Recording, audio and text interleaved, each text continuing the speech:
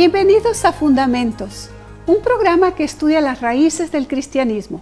Soy Rosy Miranda y es un placer saludarles. Existe en la Biblia un texto donde dice de Jesucristo, mi hijo eres tú, yo te he engendrado hoy. ¿Significa esto que no es Dios, sino un ser engendrado por Dios? ¿Significa esto que no es Dios, sino una creación especial de Dios con una función especial? Estas y otras preguntas serán contestadas en el programa de hoy. Y ahora con ustedes el conductor del programa, el pastor Armando Miranda. Queridos amigos, al iniciar el estudio de esta oportunidad voy a invitarles para que tengamos una palabra de oración. Amado Padre, queremos rogarte que nos bendigas y nos enseñes mediante tu palabra. En el nombre de Jesús. Amén. Hoy vamos a considerar un pasaje de las Sagradas Escrituras que en algunas personas causa un poquito de incomprensión o de confusión o una mala interpretación. El pasaje se encuentra en Hebreos capítulo 1 y versículo 5 y dice, Por, porque a cuál de los ángeles dijo Dios jamás, mi hijo eres tú, yo te he engendrado hoy. Y otra vez, yo seré a él padre y él me será a mí hijo. Otra versión, la nueva versión internacional, dice, porque a cuál de los ángeles dijo Dios jamás, tú eres mi hijo, hoy mismo te he engendrado, y en otro pasaje yo seré su padre y él será mi hijo. Esta declaración permite que algunos la interpreten que Cristo no tenga una preexistencia eterna, puesto que es el Padre quien lo engendra en algún momento de la eternidad, y por consecuencia no posea ni la misma coeternidad ni la divinidad del Padre. Para discutir este tema o para estudiar, adentrarnos en este tema tan importante, hemos invitado al doctor Armando Juárez Ortiz, quien es secretario académico y también catedrático de la Facultad de Teología de la Universidad de Montemorelos. Bienvenido, doctor Juárez. Muchas gracias, muy agradecido y nuevamente gracias también a nuestro público que está aquí atento a este programa. Bien, el pasaje de hoy es un pasaje que se presta para, para una mala interpretación. Eh, se dice o dice el pasaje, yo te he engendrado hoy. Eh, desde el punto de vista de la semántica de nuestro, en nuestro idioma, es yo te he concebido. Eh, conciben las mujeres, engendran los hombres, ¿verdad? Es mayormente el entendimiento que tenemos en nuestro idioma. Pero se habla aquí del momento cuando un ser humano es formado o cuando alguien viene a la, existencia, cuando alguien nace. Este pasaje da una impresión en relación con Cristo como si fuera un ser que fue engendrado en algún momento. Y ahí está la confusión. Por eso es importante que dediquemos tiempo en este programa para analizar precisamente de qué manera o cuál es realmente la interpretación, el significado, porque no es solamente cuestión de interpretación, la escritura se interpreta a sí misma, es un principio muy importante. Por lo tanto, eh, doctor Juárez, háblenos un poco del texto, el contexto y todos esos elementos que nos ubicarán en la comprensión de este asunto. Bueno, eh, la confusión se debe precisamente a, ese, a esa declaración, yo te he engendrado hoy. Entonces da la idea como que en algún momento, aunque sea de la eternidad, el Padre engendró al Hijo. Por consecuencia, el Hijo no es ni coeterno, ni tiene la misma divinidad del Padre, y por consecuencia entonces el único grande y el único Dios, ¿verdad? Porque viene el concepto del monoteísmo, un solo Dios, que no puede haber nadie más que Dios. Entonces, pensar en dos seres divinos para muchos simplemente hay cortocircuito en su mente. Y en un sentido la expresión es correcta, hay un solo Dios, no hay duda. Así es, pero desgraciadamente no lo entienden en el concepto de unidad, lo entienden en el concepto numérico, uno. y ahí es donde surge el problema. Entonces, yo te he engendrado hoy, es una declaración que tenemos que entenderla a la luz del contexto inmediato y a la luz del contexto más amplio. Y yo creo que vamos a empezar eh, tratando de analizarlo a la luz de la cita o de la declaración bíblica que usa el apóstol en Hebreos para hacer su declaración, ¿verdad? Eh, es una cita del Salmo número 2. O sea, hay un texto original.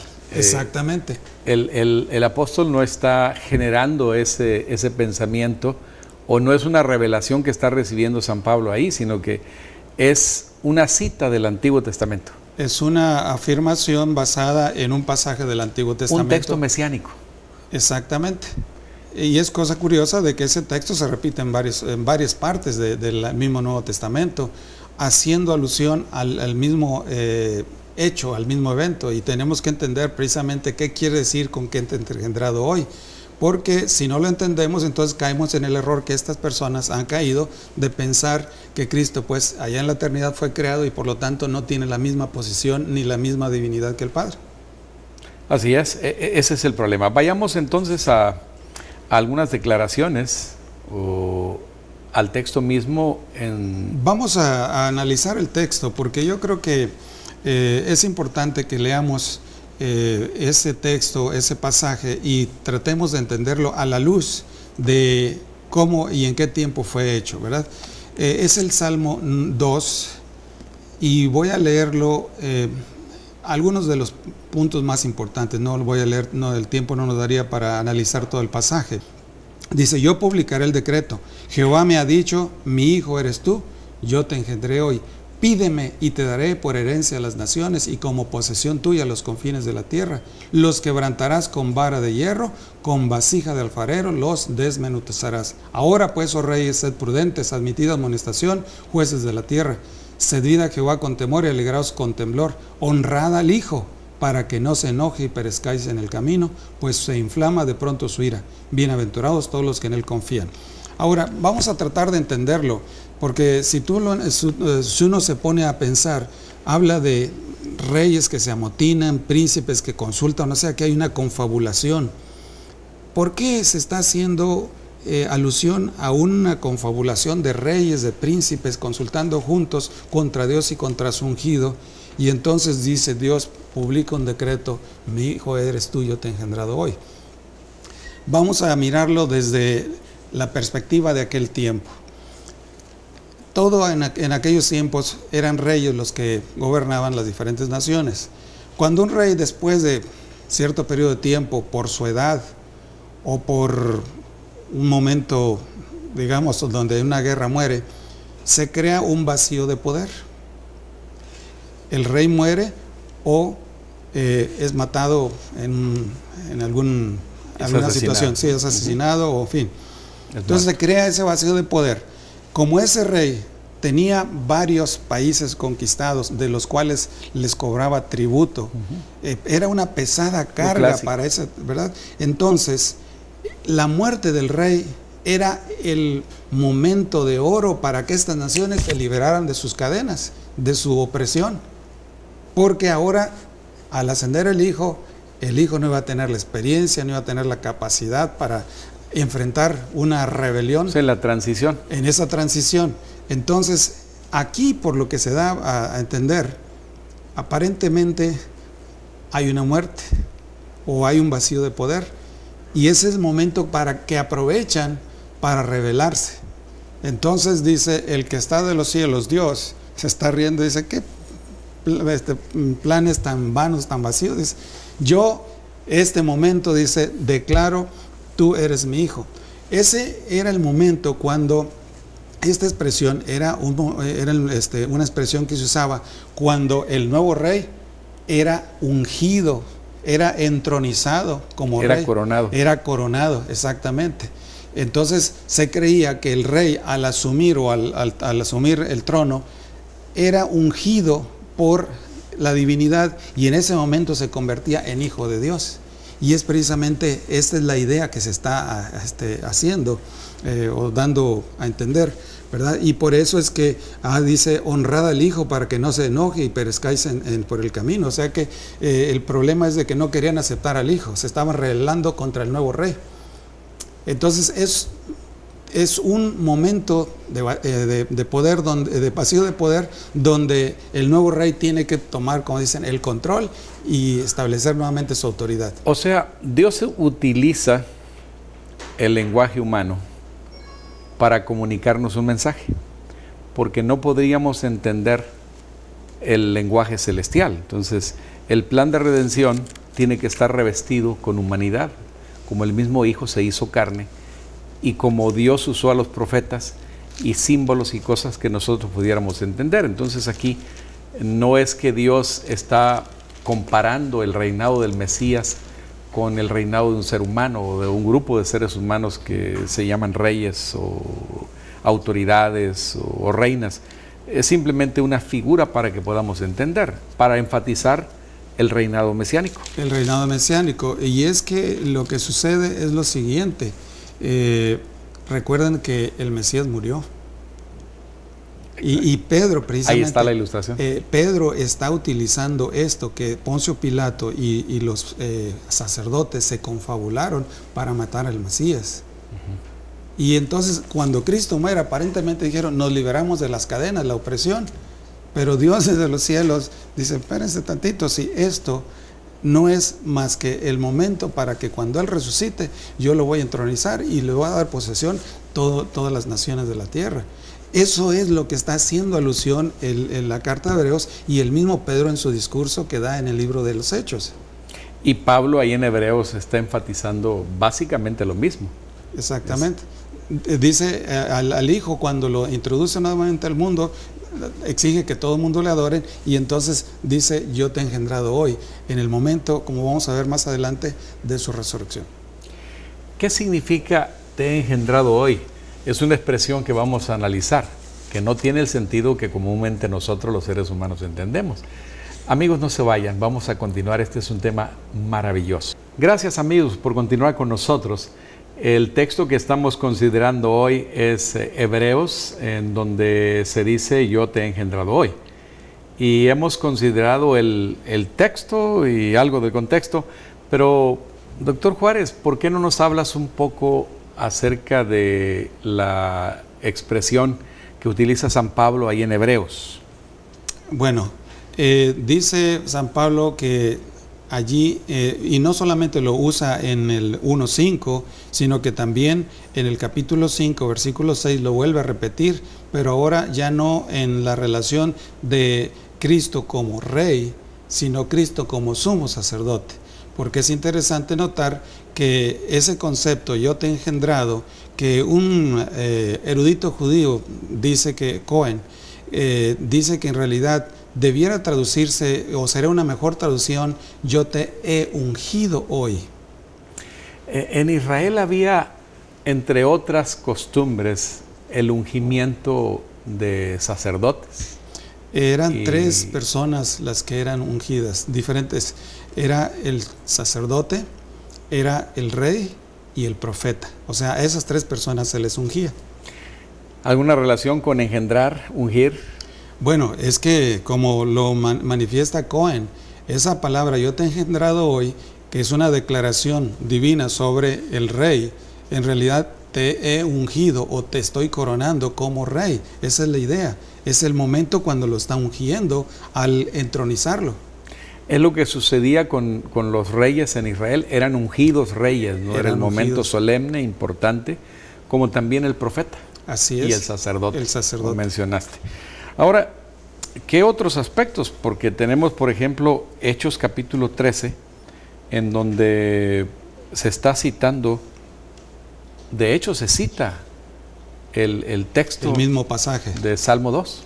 Bueno, allí es importante porque el apóstol cuando está haciendo, dando un discurso, eh, dice, nosotros también os anunciamos el Evangelio de aquella promesa hecha a nuestros padres, la cual Dios ha cumplido a los hijos de ellos, a nosotros, resucitando a Jesús. Como está escrito también en el Salmo segundo, mi hijo eres tú, yo te he engendrado hoy. Ahora, ¿qué relación tiene la resurrección con mi hijo eres tú, yo te he engendrado hoy? Es precisamente la conexión cuando el Padre, precisamente haciendo eh, eh, volviendo a conectar con Hebreos 1.5, cuando el Padre declara al Hijo, yo te he engendrado hoy, lo está declarando rey, lo está ungiendo como rey. Y en el capítulo 5, versículo 5 de Hebreos dice, así tampoco Cristo se glorificó a sí mismo haciéndose sumo sacerdote, sino el que le dijo, tú eres mi hijo, yo te he engendrado hoy, como también dice en otro lugar, tú eres sacerdote para siempre según el orden de Melquisedec. O sea que aquí Dios a Cristo no solamente lo unge como rey, sino que lo está ungiendo como sumo sacerdote. O sea, hace ilusión al concepto de ungimiento, no al, al, concepto de engendrar. Está completamente fuera de lugar esa idea de que fue engendrado. Más bien, yo te he ungido. Ahora la pregunta es, ¿cuándo fue ungido Jesús o eh. declarado o entronizado como rey? Eso es muy importante. Pero tal vez antes que lleguemos a ese aspecto, a ese punto, el contexto inmediato de la epístola a los, hebreos es evidente que está tratando de demostrar exactamente lo opuesto a lo que algunas personas entienden. Sí, porque ahí en la epístola a los hebreos, desde que inicia, habla de que el Hijo, quien constituyó heredero de todo y por quien asimismo hizo el universo, el cual siendo el resplandor de su gloria y la imagen misma de su sustancia. Esas dos palabras, resplandor de su gloria y la imagen misma de su sustancia, eh, está diciendo Cristo y el Padre son igualitos. El mismo nivel, es, Dios. Sí, eh, tal vez no entendamos eh, muy bien en español lo que significa la imagen misma de su sustancia, pero si lo viéramos en el contexto hebreo, Uzía, el eh, significa tener uno la naturaleza. O sea que dice, tiene la misma naturaleza de Dios. Es, la misma esencia. La misma esencia. No es cuestión de que se parece. No o es algo semejante. Semejante, es la misma esencia. la misma esencia, la misma naturaleza, es, Dios. Por lo tanto, no hay tal cosa como que Cristo es un ser engendrado. ¿no? Eh, en el contexto de esa epístola eh, se menciona el hecho de que Él es superior a los ángeles, es superior a Moisés. ¿Quién más? Es superior a, al que introdujo al pueblo de Israel, el que conquistó la tierra. Moisés? Eh, bueno, no solo a Moisés, sino a Josué. Y luego también, después precisamente en el capítulo 5, el capítulo 5 ya habla de que es superior al sacerdocio arónico, porque él tiene un sacerdocio de Melquisedec, que es rey y sacerdote, mientras que Aarón era solamente sacerdote nada más de, de la línea levítica. Eh, y es, superior al santuario, al pacto, a los sacrificios, en fin, Cristo es superior a todo, superior a los ángeles, superior a todo porque es Dios. De hecho, el libro de Hebreos o la epístola a los Hebreos es una epístola maravillosa enfocada al ministerio intercesor, sacerdotal, inclusive nos habla del santuario, pero presenta a Jesucristo como el que está por encima de todo. Y, que en lugar de, de, el sacrificio diario y los sacrificios que presentaban los israelitas, él entró una sola vez y, se ofreció a sí mismo y para siempre, ¿no? Entonces, es claro la superioridad de Jesús en relación a cualquier otro. Así es. Ahora, ¿qué tiene que ver este texto de te he engendrado hoy? O sea, te he ungido o te he coronado hoy con la coronación de Cristo. Si Cristo no fue coronado, porque hubo algunos intentos de ser coronado. Sí, aquí en esta tierra no fue coronado porque él mismo se lo dijo a Pilato, mi reino no es de este mundo. y le dijo, ¿eres tu rey? Y le dijo, sí, yo soy rey. Ahora, este, ¿en qué momento? Porque si aquí en este, eh, en este mundo, en la tierra... perdón la interrupción, pero tú recuerdas algunos instantes cuando no solamente él hizo la declaración con, con Pilato, que fue ya al final de su ministerio, pero antes hubo intentos eh, hubo por lo menos dos intentos. Uno que se registra en San Juan capítulo 6, donde aparentemente los apóstoles estaban detrás de este movimiento, diciendo Jesús es muy humilde, nunca se va a animar a proclamarse rey. Entonces empezaron a hacer, vamos a decirlo, sus movimientos para presionarlo para que aceptara el que hicieran rey. Y entonces, eh, hablando precisamente de San Juan, en el capítulo 6, versículo 14 y 15, dice, aquellos hombres entonces, viendo la señal que Jesús había hecho, dijeron, este verdaderamente es el profeta que había de venir al mundo. Pero entendiendo Jesús que iban a venir para apoderarse de él y hacerle rey, hacerle rey. volvió a retirarse y mandó a todos que, se fueran. que se fueran. Y E inclusive dos de los discípulos, aunque el deseo estaba en los demás también, pero hubo quienes se atrevieron, y no solamente ellos, su madre fue la promotora, ¿no? Directamente para decirle cuando te sientes en tu reino, mira, este mi hijito me lo pones a la derecha, el otro a la izquierda, ¿no? Tenían un concepto terrenal del reinado de Cristo, del Mesías. Bueno, es que ellos tenían una idea de que el Mesías iba a venir, iba a, coronarse rey, iba a destruir a todos los poderes terrenales y iba a implantar. Y entonces precisamente este momento fue crucial por el hecho de que dijeron, este hombre nos sana, resucita muertos, nos da, multiplica los panes, porque fue en el milagro de la multiplicación profana. Este es el Mesías, así que vamos a conquistar al mundo. Si me hieren, me va a resucitar. Si estoy enfermo, me va a sanar. Si tengo hambre, me va a dar de comida. ¿Qué más necesitamos? Dije, vamos a hacerlo rey. E, ese fue el intento. No fue coronado aquí porque él, él no, no lo aceptó. No lo aceptó, no, era el, no era el plan, de hecho no era ese. Pero ahora, por cuestiones de tiempo, tenemos que abreviar. Eh, ¿Por qué no vamos al momento cuando Cristo fue coronado? No fue coronado aquí, pero ya fue coronado. Bueno, efectivamente. Es ese, ese texto el que está haciendo la afirmación categórica de que Cristo fue coronado. Ahora la pregunta, ¿cuándo fue coronado? ¿Verdad? Eh, ahí en Hechos, capítulo 13, 32 y 34, en ese discurso que da el apóstol San Pablo, dice, nosotros también nos anunciamos el Evangelio de aquella promesa hecha a nuestros padres, la cual Dios ha cumplido a los hijos de ellos, a nosotros resucitando a Jesús, como está escrito en el Salmo segundo, mi hijo eres tú, yo te he engendrado hoy.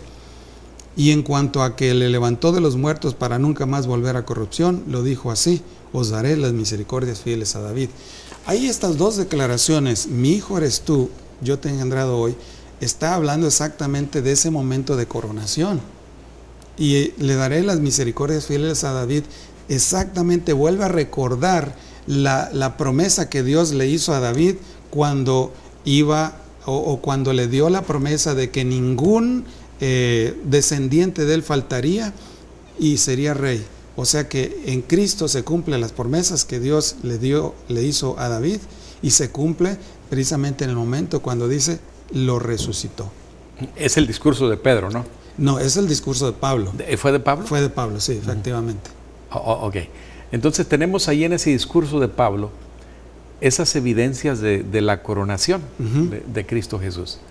¿Qué, otro elemento tenemos para decir que fue precisamente la coronación de Jesús? Bueno, este, aquí en el, en el, bueno, tendríamos que manejar dos ideas.